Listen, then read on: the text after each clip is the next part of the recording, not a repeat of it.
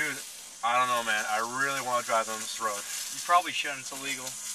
Yeah, dude. But you know, I feel like, dude. Remember Edna from The Awakening, dude? How like, oh god, she was like internally not happy. Yeah, this will make you internally happy. Yeah, I just want to, uh, I just want to drive down it. Should we do it? Do what makes you happy. That's what Edna did. You're right. You're right.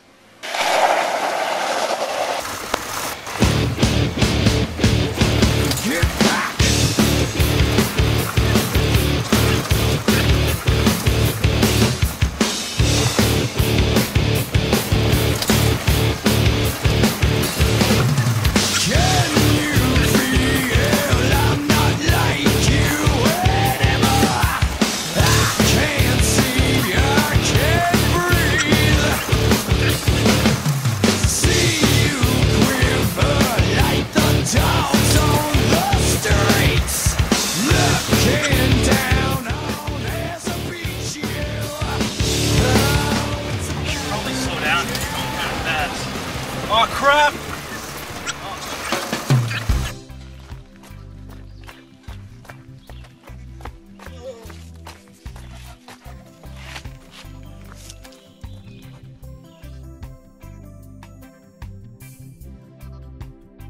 Gonna cover our stuff